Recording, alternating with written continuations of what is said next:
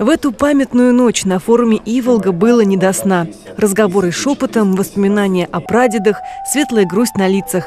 К половине четвертого утра на главной площадке фестиваля собрался весь лагерь. Фотографии погибших на войне родственников участники форума в этом году собирали со всего региона. В бессмертный полк с гордо поднятыми транспарантами встали и русские, и французы, и китайцы.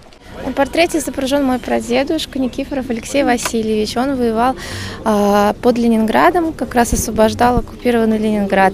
И там была интересная история. Именно там он познакомился с моей прабабушкой. Сейчас серьезные эмоции и грустные. Мне кажется, это очень хорошее. И я буду рассказывать моим друзьям. Многие из пришедших к реке не смогли сдержать своих слез, когда венки коснулись воды, а в небо устремились сотни белых шаров. Уже утром прошел военно-исторический квест «Брестская крепость». Кроме состязаний по поисковой работе, участников ожидали соревнования по военно-прикладным видам спорта и оказанию первой помощи. 75 лет с начала Великой Отечественной войны, такая не праздничная, но это дата памяти, и надо знать. И в 4 часа утра мы, собственно, привязались ко времени начала войны, и мы решили вот начать этот квест.